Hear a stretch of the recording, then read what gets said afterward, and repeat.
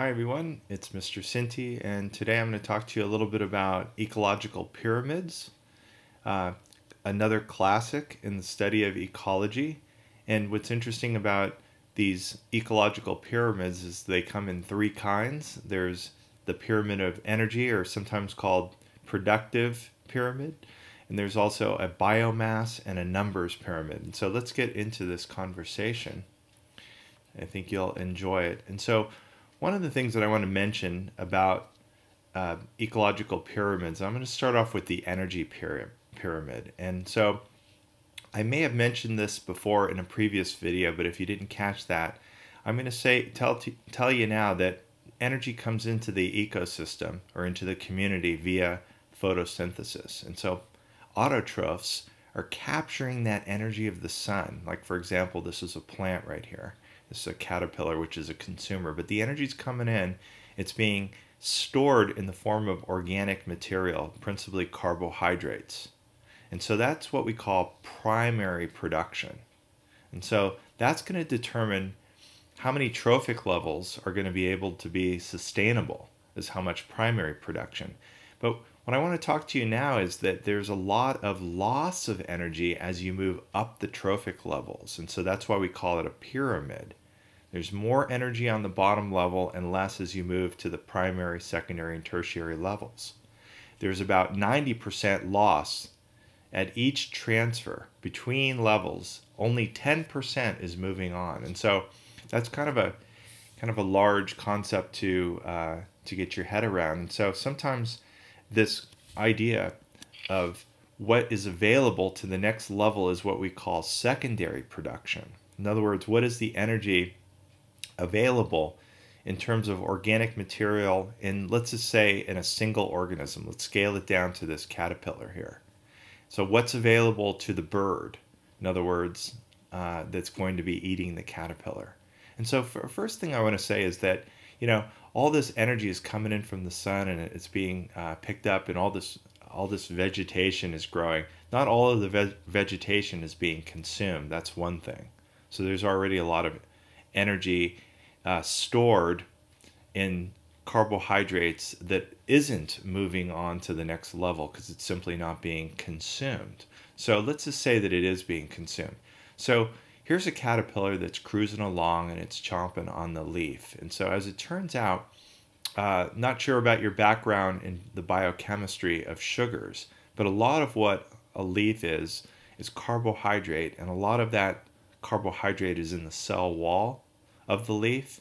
And the cell wall is primarily made up of a polysaccharide called cellulose, which is indigestible, cannot be broken down.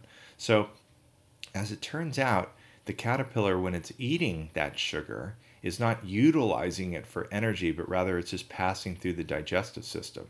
So, a lot of the energy goes in and then it goes out in the form of feces. So, so here we are with starting our video talking about feces here. But look at this, about half of the energy, and you know the unit that we're looking at here is something, an energy, a, a unit of energy called a joule. But it's here nor there, but basically half the energy that was available here is not going into the caterpillar. It's being, it's passing right through. And then, you know, you, you get, for example, uh, cell respiration. Let's talk about that. So the sugar so the simple sugars, like the glucose and fructose or what have you, that is being consumed by the by the caterpillar, is then being burned. And again, this comes back to this notion of, you know, the law of conservation of energy. Of course, energy is conserved. In other words, the potential energy in the sugar is conserved by because it equals uh, kinetic energy. But the truth is, once the sugars are broken down, it's lost in the form of usable energy to the next level. So it's heat.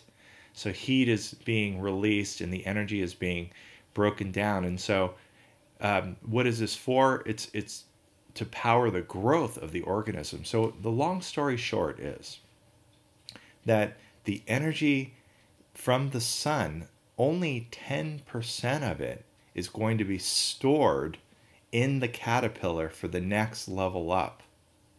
Okay, so that's important to consider. So we're going to be looking at these three different kinds of energy, uh, sorry, ecological pyramids, but they all kind of have something in common with one another. In other words, it all has to do with energy ultimately.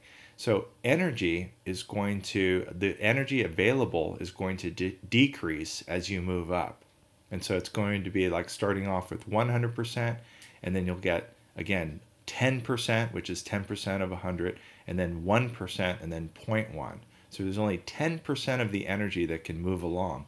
And as a result of that, uh, the numbers pyramid is going to be reflective of that. There's a lot more producers than there are, for example, tertiary consumers, because there just simply isn't enough biomass, or if you will, numbers of primary producers in order to sustain that. So the population sizes will decrease in consumers, and literally the biomass will decrease as well. And so we're gonna, let's look at that.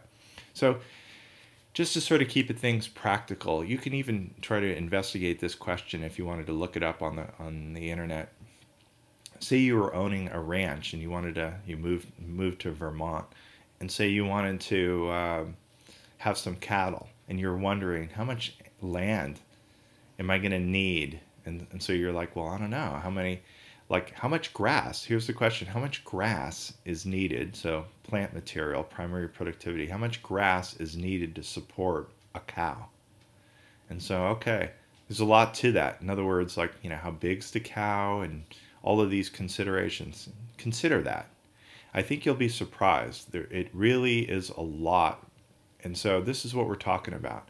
Uh, there's a lot of uh, primary producers and then fewer herbivores, and then again, even fewer secondary consumers. And so it all has to do with energy. And so when you look at this, the amount of energy coming in the form of sun, and then plants are picking up, again, a, a basically about a tenth of that. And then what goes on to the next level is only 10% of that, and 10%, and then 10%. And so let me emphasize this by writing this out. So only 10% transfer for from each trophic level moving on up.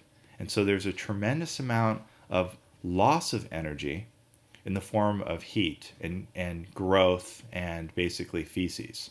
And so there's a lot of loss. So only 10% of energy moves through the ecosystem. Okay? So as a, as a consequence of that, again, here's here's another look at numbers. You go from 1,000 to a 100 to 10 to 1 and 0.1. So 10% move uh, of energy through the trophic levels.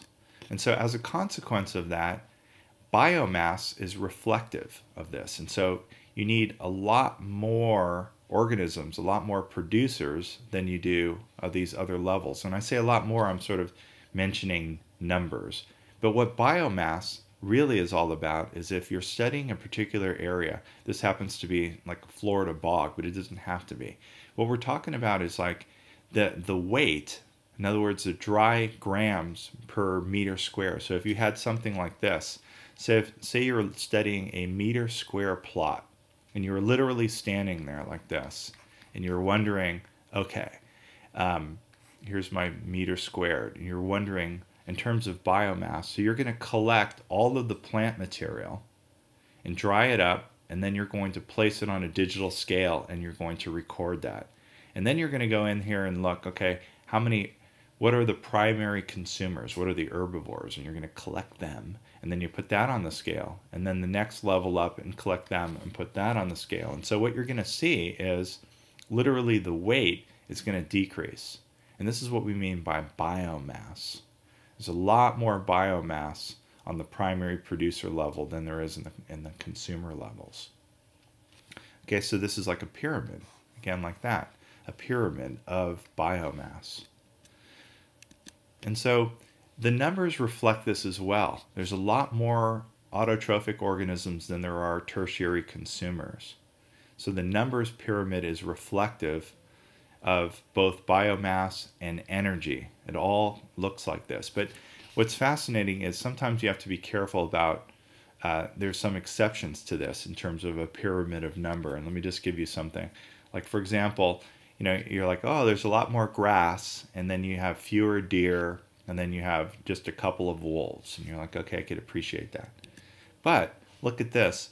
Like you can come into this area and go, okay, how many how many uh, plant, ah, one oak tree, and so there you go, one, and then how many caterpillars are in here, and then you're like, wow, there's two thousand caterpillars, and then there's you know again as you move up, and there's one hawk in the area, and so it's kind of your traditional number pyramid, but sometimes it can be odd that the producer is a little bit uh, less. But basically, it's always a pyramid shape. But I just want to point that out. Sometimes you get some anomalies.